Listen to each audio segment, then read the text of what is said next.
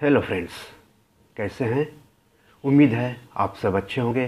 तो आपके काम की एक और खबर के साथ हाजिर हूँ। मैं, यानी आपका मनी मित्र, रजनीशकांत, और आप देख रहे हैं अपना YouTube channel be your money manager दोस्तों, जैसा कि आप सब जानते हैं कि हम आपके इस मन पसंदीदा यूट्यूब चैनल के ज़रिए आपके फाइनेंशियल सफ़र को सुहाना बनाने से जुड़ी खबर और जानकारी पर लगातार अपडेट देते रहते हैं। तो इसी सिलसिले में आज मैं डिमांड ड्राफ्ट, पे ऑर्डर और बैंकर्स चेक से जुड़ा अपडेट आपको देने जा रहा हूँ। तो दोस्तों, रिज़र्व बैंक ऑफ़ इंडिया यानी जो देश का केंद्रीय बैंक है, आरबीआई, उसने बैंक ड्राफ्ट, पे ऑर्डर और बैंकर्स चेक बनवाने से जुड़े नियमों में कुछ बदलाव किए हैं और इस संबंध में आरबीआई ने निर्देश भी जारी किया है। तो वो बदलाव क्या है, वो आप भी जान लीजिए। तो रिज़र्व बैंक ने काले धन, मनी लॉन्ड्रिंग पर रोक के लिए बहुत बड़ा फैसला लिया है। अगर आपने किसी भी व्यक्ति संस्थान के लिए डिमांड ड्राफ्ट बनवाया है तो उस पर अब आपका नाम भी लिखा जाएगा। पहले इस पर सिर्फ़ उसी का नाम लिखना होता था, जिसके लिए आपने डिमांड ड्राफ्ट बनवाया है।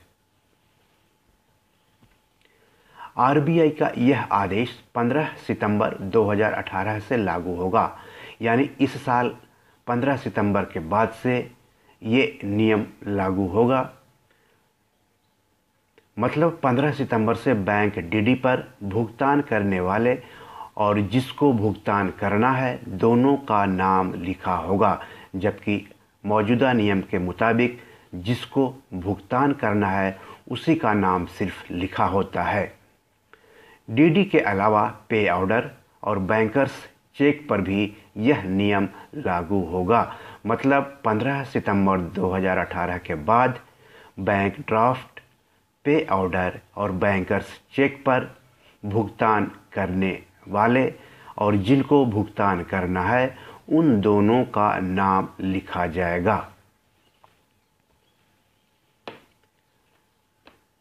दोस्तों, इसको एक उदाहरण से मैं आपको समझाता हूँ कि 15 सितंबर के बाद क्या बदलाव होंगे।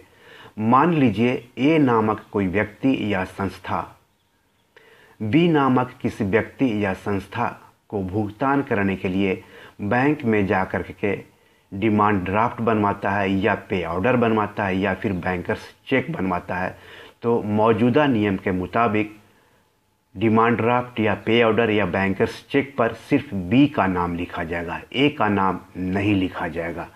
लेकिन जब वही ए 15 सितंबर के बाद बी के लिए डिमांड ड्राफ्ट या पे ऑर्डर या बैंकर्स चेक बनवाने जाएगा तो उस डिमांड ड्राफ्ट पे ऑर्डर या बैंकर्स चेक पर ए और बी दोनों का नाम लिखा जाएगा और दोनों का नाम डिमांड ड्राफ्ट पे ऑर्डर और बैंकर्स चेक के फ्रंट पर लिखा होगा।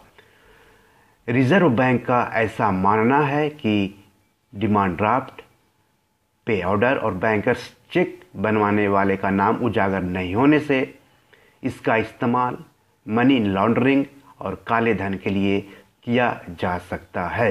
तो काले धन और मनी लॉन्ड्रिंग पर लोग के लिए केंद्रीय बैंक का एक और बहुत बड़ा फैसला। तो दोस्तों, अगर आप डिमांड ड्राफ्ट बनवाने जा रहे हैं, पे ऑर्डर बनवाने जा रहे हैं, या फिर बैंकर्स चेक बनवाने जा रहे हैं तो इस नए नियम को याद रखिएगा।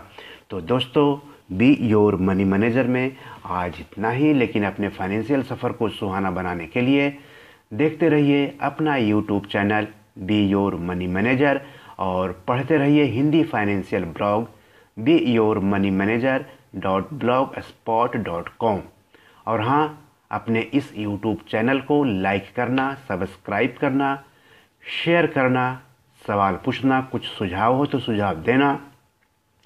मत भूलिएगा हम आलोचना की भी स्वागत करेंगे। तो दोस्तों, आपका अपना कीमती समय देने के लिए धन्यवाद, नमस्कार।